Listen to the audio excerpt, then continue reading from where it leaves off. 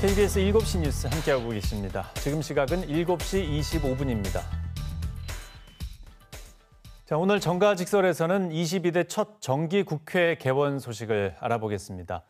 오늘 함께할 두 분 먼저 소개해드리겠습니다. 신재범 변호사 그리고 나철성 강원 평화경제연구소장 나오셨습니다. 어서 오십시오. 안녕하십니까? 예.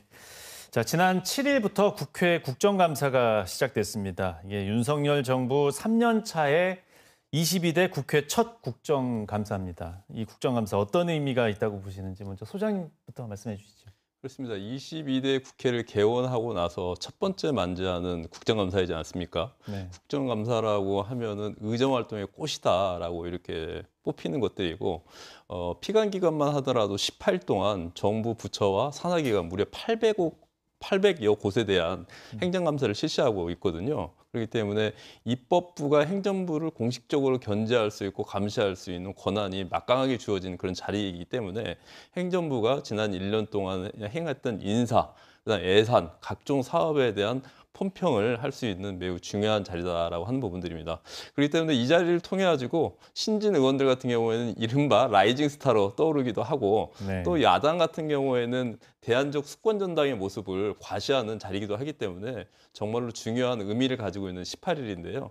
근데 이게 종종 문담한다면 정쟁으로 이게 에, 빠지게 될 경우에는 기대보다도 못한 부분들이 있는데요. 올해 지금 중반기 한 열흘 정도가 지났는데요. 보자고 네. 한다면 워낙 메가 이슈들이 많이 터져나오고 있지 않습니까? 아, 이른바 명태균 씨로 보이는 선거 브로커들에 있어서의 역할들 그러면서 어, 이 문제점들이었지. 그리고 또 얼마 전에는 남북 동해선과 경의선 폭파가 되는 이런 사건들. 그리고 또 어제 끝난 보궐선거들을 해가지고 최근 며칠간 이슈들이 워낙 커지다 보니까 네. 이 국가함의 중요성들이 부각되지 않는 게 많이 좀 아쉽습니다. 네. 자, 심재범 변호사께서는 어떤 의미를 가지고 국정감사를 보고 계십니까? 뭐 대한민국 그 주권은 국민에게 있다라는 건 뭐 자명한 거고 국민이 그 뭐 입법 활동이라든 입법이라든가 뭐 국정 현안을 살핀다라든가 뭐 예산을 심사하는 직접은 할 수 없습니다.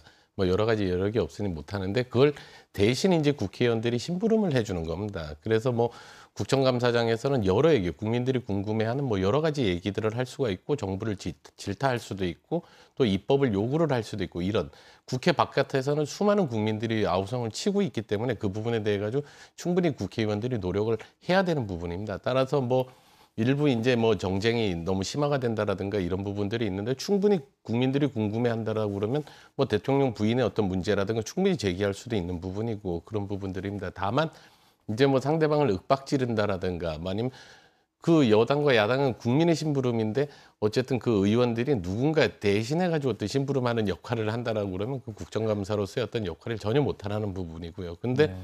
다만 보면 이제 국민들 피감 기관들이 이제 그 국민들을 대하는 태도, 국회의원들을 대하는 태도를 봤을 때 이번 국감에서는 좀 이례적인 부분들, 좀 피감 기관들이 상당히 고압적이지 않았는가 그런 생각이 듭니다. 국방부 장관은 뭐 욕설 비슷한 이제 언어를 사용을 하기도 했고 그리고 예. 뭐 감사원 사무총장 같은 경우에는 뭐 감사원장하고 위원장하고 법 법사위원장하고 대화 중에 끼어들어서 모욕하지 말라, 소리 치르지 마라, 뭐 이런 식으로 무례한 태도를 보이기도 했고요. 그렇지만 국정감사 지금 다 생중계가 되고 있습니다. 보면 대다수의 의원들이 성실하게 국정감사를 준비를 하고 임하고 있는 것으로 저는 파악을 하고 있습니다. 근데 다만 아쉬운 부분은 이제 소장님 말씀하셨듯이 이 상당수의 좀 관심 있는 이슈들이 부각이 되다 보니까 지금 실질적으로 좀 언론에서 다뤄줘야 될 룸이 좀 부족해지는 게 아니겠는가. 어쨌든 언론에서 다뤄줘야지 피감 기관들도 움직일 것이고 만약에 다뤄주지 않으면 그 자리에서 내라고 대답 해서 하긴 할지라도 뒤돌아서는 뭐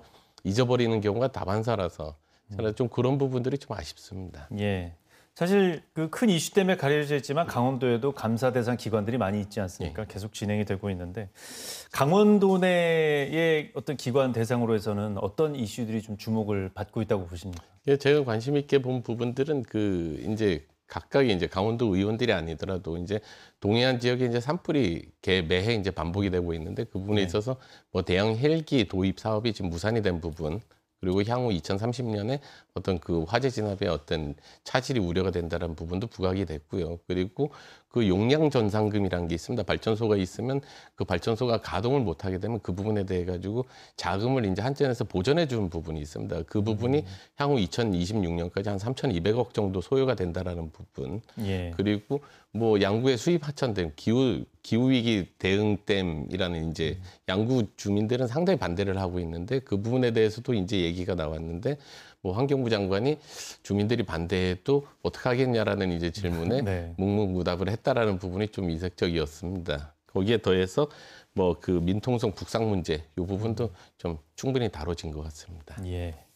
자, 소장님께서는 이번에 그 관련 지역 지역 이슈가 어떤 것들이 좀 많이 다뤄져 있다고 보십니까?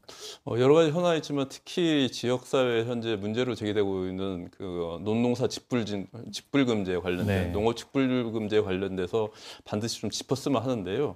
어, 농농사 직불제 같은 경우는 2001년도에 농가소득 보장하고 농업소득의 안정화를 위해서 실시하지 않았습니까? 네. 현재 무려 대상자도 120만 명이나 되고 있음에도 불구하고 또다시 관리가 지나치게 소홀함으로 인해 가지고 정작 일하는 농민들 같은 경우는 수령하지 못하면서 부정수급 문제가 심각하게 나서고 있습니다.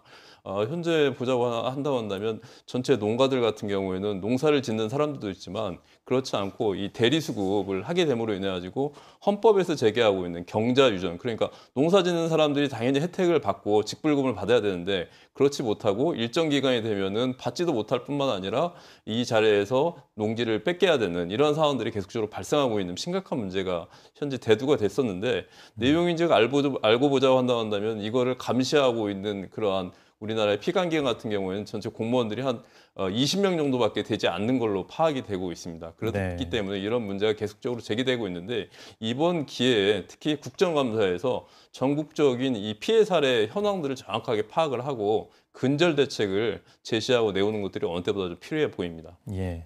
지금 오늘만 해도 강원랜드하고 강원도 교육청 국정감사가 있었는데 주요 기관들의 국정감사는 어떻게 보셨습니까? 예, 오늘 두드러졌던 부분들은 강원도 교육청에 대한 2024년 국정감사를 실시했는데요. 특히 강원도 출신 교사인 백승아 의원이 신경호 교육감을 매섭게 좀 몰아붙이는 부분들이 좀 눈에 띄었는데요. 네. 특히 강원도 교육청 같은 경우에는 전국에 최근 들어와서 청렴도가 꼴찌되고 있는 이런 상황들에 대한 문제점 그리고 계속적으로 제기됐던 전자칠판하고 이 정보화기기 또 통일단체 보조금 과정 속에서의 어, 도교육청 인사에 있어서의 부정정한 행위들 같은 경우에 문제가 되게 되면서 백승아 의원이 교육부에 직접적인 특정 감사를 요구했어요. 그 자리에서 교육청에서 어, 교육부에서도 이와 관련돼서 어, 교육청 감사를 하겠다라고 하는 입장을 답변이 있었는데요. 아무튼 이게 향후에 강원도에 어떤 파장을 미칠지 한번 지켜봐야 될 것 같습니다. 예. 변호사님께서는 그 상임위 국정감사 주요 기관들 감사를 어떻게 보셨습니까? 뭐 가장 관심이 있었던 부분은 강원도 교육청 국정감사였습니다. 근데 이제 말씀하셨다시피 여러 가지 이제 문제 제기가 됐고요. 다만 이제 그뭐 이제 그 직업계획 고등학교의 어떤 긍정적인 평가라든가 그리고 학생 성장 진단 평가에 대한 이제 그 의원의 질의하는 의원의 어떤 긍정적인 평가는 있었습니다. 다만 좀 아쉬웠던 부분은 이게 강원특별법하고 연관이 돼서 교육자치 부분에 대해 가지고 좀 발전적인 어떤 정책이라든가 이런 부분에 대해 가지고 피감기관이나 감사하는 국회의원 간의 어떤 논의가 저- 없지 않았는가 그런 부분들이 상당히 아쉬웠습니다. 예. 또 이번 국정감사에서 강원도 출신 국회의원들은 우리 국민을 대신해서 어떻게 활동하고 있을까 이것도 궁금하실 것 같은데요. 활약상은 어떻게 보십니까?